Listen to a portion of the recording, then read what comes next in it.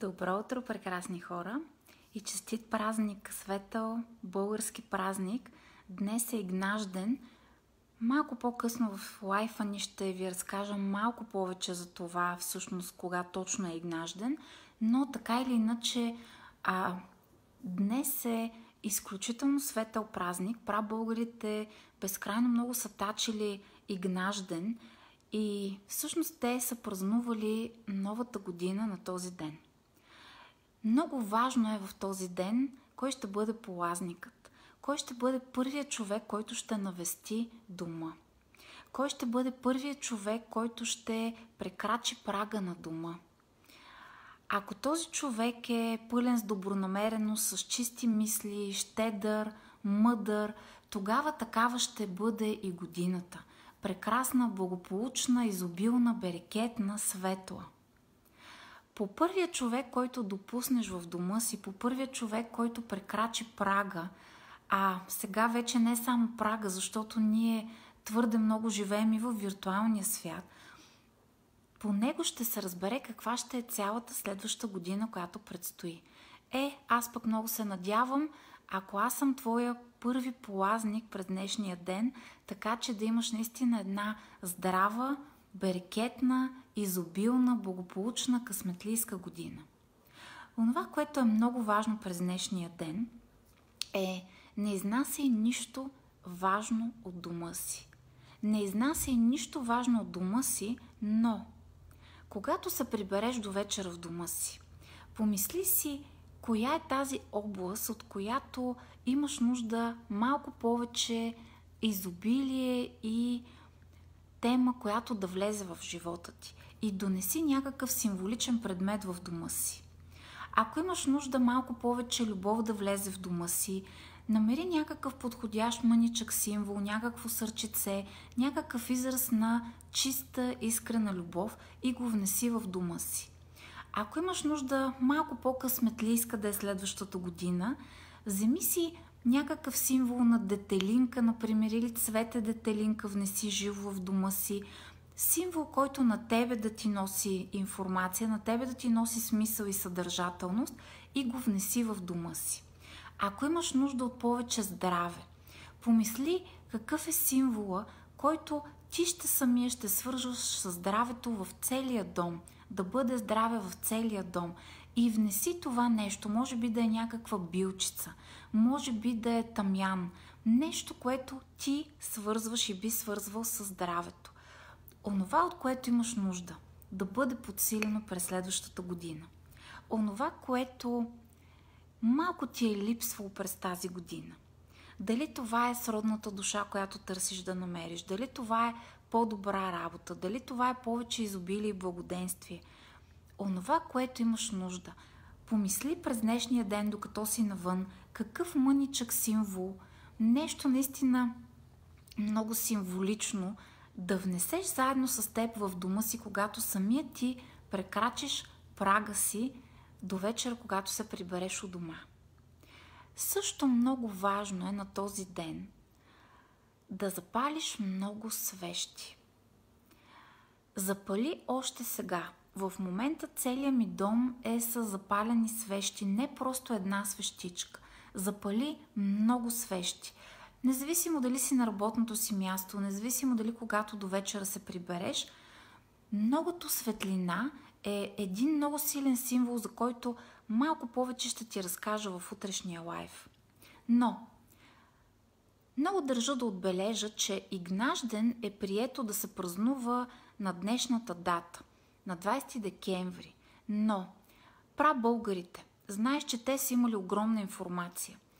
Те са свързвали Игнажден или новото начало, или новата година. Те са го свързвали с зимното слънцестоене, което е на 22 декември през тази година. И тъй като понякога зимното слънцестоене мени своите дати, най-вероятно и надявам се това да е истинската причина – Просто е прието, че на 20 декември ще се празнува Игнажден.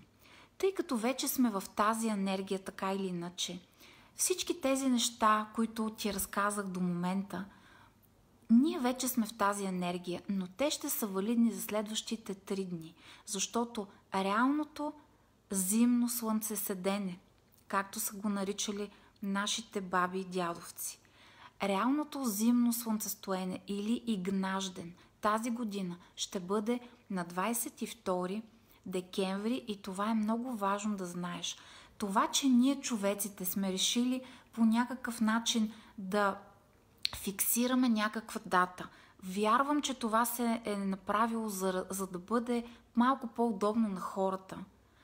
Но това, че ние сме решили да фиксираме някаква дата, не означава, че можем да принудим енергиите на Вселената, на планетите и в случая на Слънцето да променят своята енергия. Така че вече влизаме в тази енергия. Всички тези неща, които ти разказах, прави ги следващите три дни.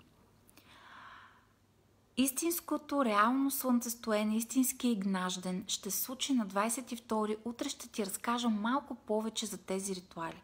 Но, онова, което е добре да направиш днес и утре, това, което ти препоръчвам да направиш днес и утре, е да слушаш тези два дни медитацията за благодарност, чудото на благодарността в действие.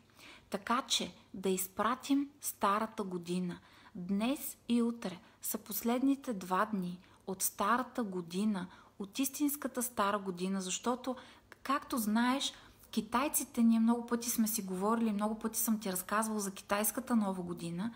Китайската нова година всяка година има различна дата, защото тя се определя от фазите на Луната. Прабългарската нова година се определяла от фазите на Слънцето и тя се е местила мъничко, защото понякога слънцестоенето е на 21 декември, понякога на 22 декември. Много силен е момента тогава, когато сме синхронизирани с енергиите на Вселената. Ние така или иначе сме част от тях, ние така или иначе сме подвластни на тези енергии. И колкото повече започнем да се връщаме към тези корени, колкото повече започнем да се синхронизираме с тези енергии, толкова по-леко ще става на всички нас, българите, независимо в коя точка на света се намираме. И толкова по-добре ще потръгнат нещата за всички нас като общност. Така че, днес и утре, включи в твоята ежедневна практика медитацията чудото на благодарността в действие. Нека изпратим годината с благодарност. Това не беше много лека година. Това беше една много предизвикателна година. Както си а, говорихме през цялата година, имаше много силни турбуленции, много моменти, в които ни центрофугираше буквално енергиите, но в тази година се случиха изключително добри неща. В тази година посяхме много, много скъпоценни семена. Така че, нека да изпратим годината с благодарност. Днес и утре изпълни сърцето си с благодарност за всички дарове, които си получил през тази година. Утре ще ти разкажа малко повече за Игнажден, за зимното слънцестоене, за това какво е добре да направиш, кога точно ще се случи и всички още малки и големи подробности, които да ни помогнат да се синхронизираме с тези енергии.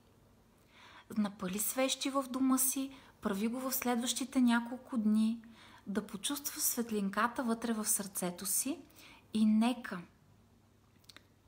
полазника днес да донесе здраве, да донесе чисти мисли, да донесе добри намерения, да донесе много любов, да донесе усещане за берекет, усещане за изобилие. Нека първият човек, който прекрачи прага ти днес, първият човек, който допуснеш в сърцето ти, да бъде добрия полазник, полазника за следващата нова прекрасна година. Нека отвориш сърцето и дома си. На първо място да бъде полазен от здравето. На второ място да бъде полазен от добрите взаимоотношения.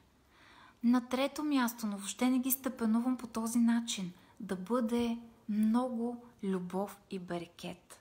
Да бъде благополучие, да бъде изобилие. Много, много вълшебен и магичен ден. Напали свещички и си помисли какво е онова, което искаш да внесеш в дома ти не само днес и утре и най-вече други ден, най-вече на 22 декември, което е в събота. Истинския и гнажден, какво е онова, което искаш да внесеш в дома си? Онова, което бих ти препоръчала е всеки от тези дни, днес, утре и в събота, внасяй в дома ти по нещо символично, което истински да бъде, да изразява стремежа и купнежа ти към по-добър живот, който искаш да привлечеш за дома си, за твоите близки, които живеят в дома ти и за самия теб, разбира се. Нека да е светъл деня, нека да е берекет и благополучие. Вълшебен да е денят ти. Запали слънцето в теб, пусни медената енергия на благодарността да налее тези последни два дни от годината. Вълшебен ден! До скоро! Чао!